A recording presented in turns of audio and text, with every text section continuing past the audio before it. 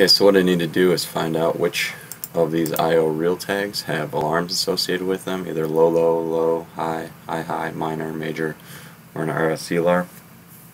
And uh, I'm going to use the COUNTIF function for that.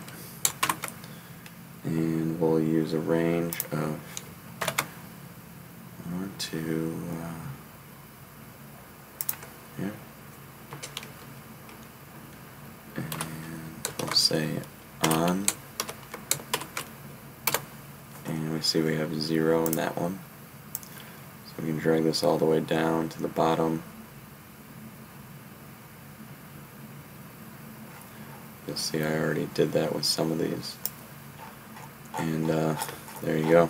It'll show me which ones have alarms associated. Now I can go up and I could sort these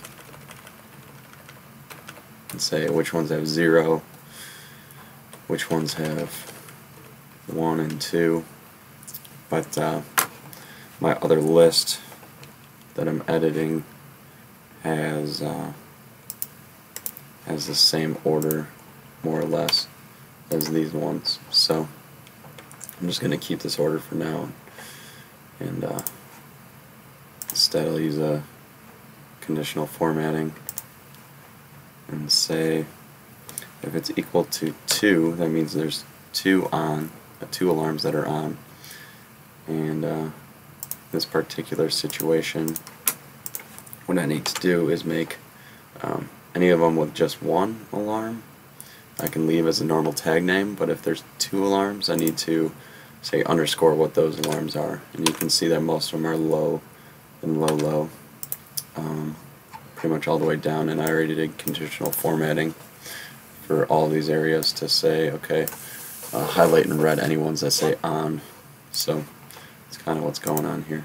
But uh, makes it real easy to see uh, which ones I need to uh, create more tags for and also um, out of this whole list which ones uh, will actually be um, an alarm so I can create all the alarm tags.